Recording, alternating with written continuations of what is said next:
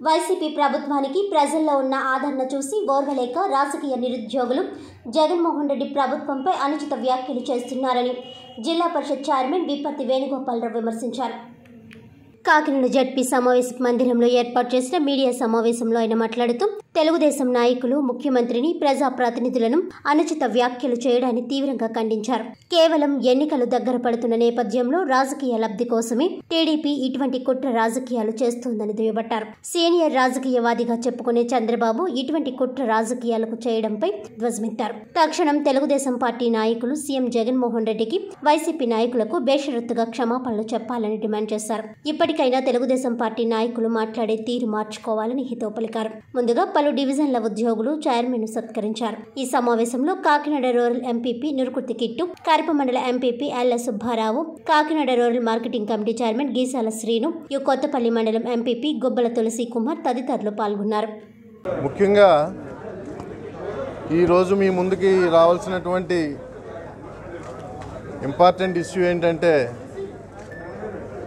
నిన్నటి నుంచి మీరు అందరూ అబ్జర్వ్ చేస్తున్నారు రాష్ట్ర ప్రభుత్వం మీద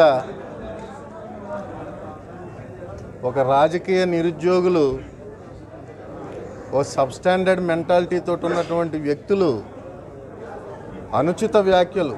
అసలు ఆ భాష మనం వాడొచ్చా వాడకూడదా అని కూడా ఆలోచించకుండా చాలా ఫౌల్ లాంగ్వేజ్ అన్నమాట. అతనికి మరి ఆ భాష అర్థమవుతుందో అర్థమవుతుందో తెలియదు ఎందుకంటే మనం అతిపెద్ద ప్రజాస్వామ్య దేశంలో ఉన్నాం. మన రాజ్యాంగం యొక్క విలువలు చాలా పవిత్రమైనటువంటి విలువలు మన రాజ్యాంగం విలువలు.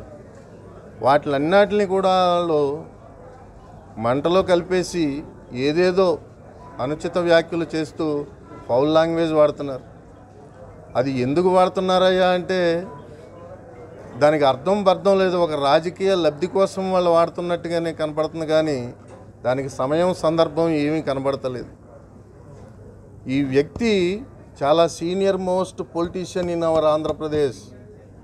ఇండియాలో కాదు మన ఆంధ్రప్రదేశ్లో సీనియర్. ఇతని కన్నా చాలా సీనియర్స్ ఈ భారతదేశంలో ఉన్నారు. వాళ్ళు ఎప్పుడూ కూడా చాలా పెద్ద మనుషులుగా హోందాగానే ఉన్నారు. ఈ వ్యక్తి ఏంటో మరి తెలియదు తన రాజకీయ లబ్ధి కోసం మరి ఏంటో మరి తన పాచికలు మళ్ళీ మొదలెట్టాడు టూ అండ్ హాఫ్ ఇయర్స్ అయింది. ఇంకొక రెండున్నర సంవత్సరాల్లో మళ్ళీ ఎలక్షన్లు వస్తాయి కాబట్టి మనం మ్యాండేటరీకి వెళ్తాం కదా అని ఇప్పటి నుంచి కూడా అతను ఎత్తులు మారి నక్కలాగా ఎత్తుల మీద ఎత్తులేస్తున్నాడు అతను ట్రాక్ రికార్డ్ అంతా కూడా బ్లాక్మెయిలింగ్ ఒక క్రిమినల్ యాటిట్యూడ్ తోటి స్టార్ట్ అవుతుంటుంది. అతను సొంత మనుషుల్నే అతను మామయ్య గారినే అతను మోసం చేసుకుంటూ వచ్చాడు ఈ రోజు వరకు కూడా. పోల్సినటువంటి పరిస్థితి లేదు.